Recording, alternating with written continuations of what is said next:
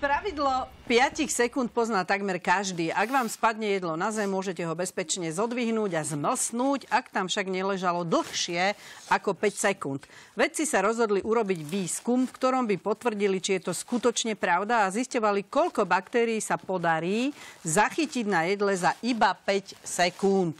Experiment skúšali na kachličkách a prišli na to, že aj za tento krátky čas sa na jedlo prenieslo až 99% baktérií.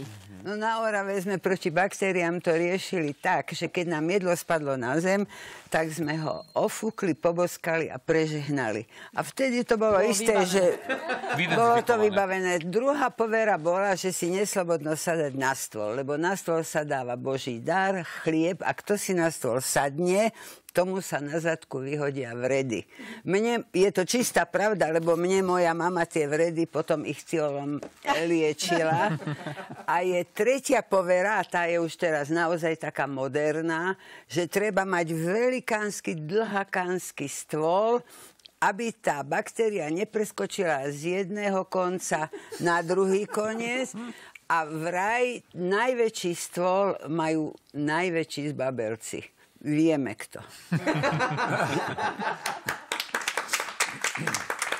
Sa bojíš no. povedať, že Putin, čo? Sa bojíš? Ty si to povedal. No, však, jasne, ja pôjdem, kade ľahšie. Keď sem prídu, budem všetci.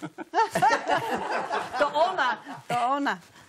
No, e, ja neviem, ale súhlasím v tomto s tebou, že ja keď som bola malá, tak naozaj to tak bolo. Čo spadlo na zem, no tak sme ofúkali a zedli.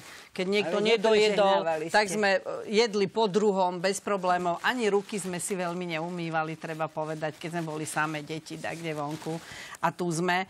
Ale musím povedať, že dnes je to už predsa len trošku inak a ja to trochu inak cítim. Som pred, e, neviem, 3 čtvrte rokom viac, lebo ešte sa vtedy mohlo. E, bola v nejakej reštaurácii a išla som večer e, von pre tú reštauráciu sa nadýchať e, vzduchu a tam bol taký popolník s pieskom. Taký veľký na piesok na, na ohorky, na špaky, ako sa to správne Asi povie. Ohorok. Vajgl po slovensku. Vajgle, spisovne Vajgle.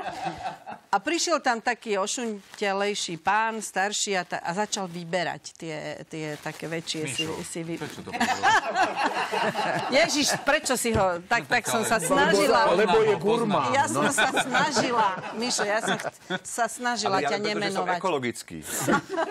Vyberal, vyberal, tak som to chvíľu, však čo? A potom mi to tak prišlo také divné, tak mu hovorím, prepačte, ale vy, vy sa nebojíte, že niečo chytíte? A on sa na mňa tak pozrel, nie, ja už som všetko mal.